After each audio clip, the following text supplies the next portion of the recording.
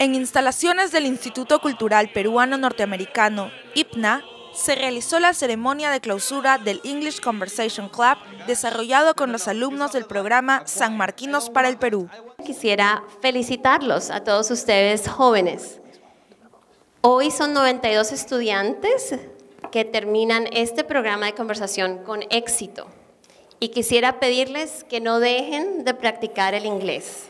El lazo con la Embajada de Estados Unidos desde ahora se fortalece con ustedes, ya que ustedes van a formar parte de la red de becarios peruanos del gobierno de los Estados Unidos, o como les decimos en inglés, alumni.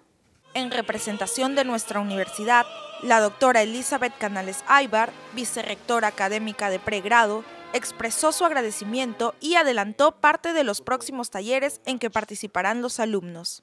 Nuestro eterno agradecimiento a la embajada y por supuesto por el programa, agradecer a través del señor Anthony Acevedo al IPNA. En este eh, programa de San Marquinos para el Perú eh, han iniciado en un primer momento en Harvard y luego ellos van efectivamente a tener un programa continuado con líderes del país.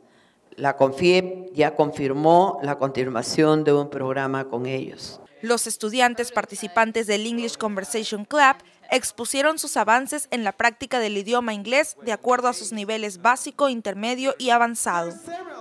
Luego de ello, se hizo entrega de las respectivas constancias y algunos de nuestros alumnos expresaron su agradecimiento.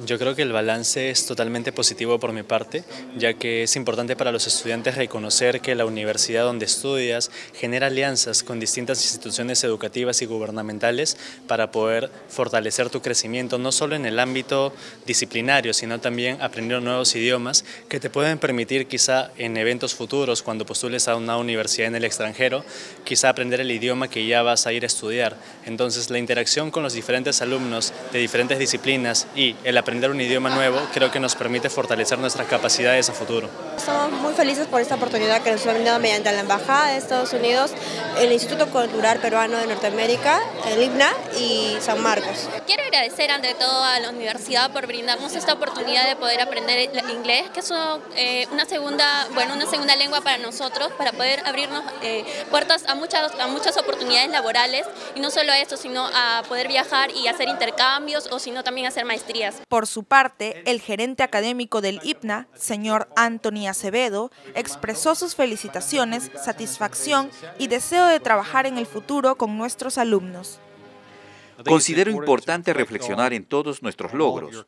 Recuerdo cuando estaba en la universidad, no sé cómo piensan ustedes chicos, pero yo disfruté de estar en la universidad y luego salimos y nos insertamos en el área laboral y siempre debemos mantener nuestra perspectiva de pensamiento crítico, porque a veces pensamos que es más sencillo pensar de manera crítica en la universidad que en el trabajo, ya que en el trabajo realmente te dedicas a trabajar. Ustedes saben. Entonces, a veces tienes que poner tus perspectivas tal vez a un lado para que el trabajo se pueda llevar a cabo. Sin embargo, siempre tratamos aquí en el Instituto Cultural Peruano Norteamericano, y estoy seguro que ustedes también lo harán, de que prevalezca nuestro pensamiento crítico, el design thinking, el pensar fuera de la caja y así seguir estudiando el inglés y esperamos continuar trabajando con todos ustedes en el futuro. Felicitaciones.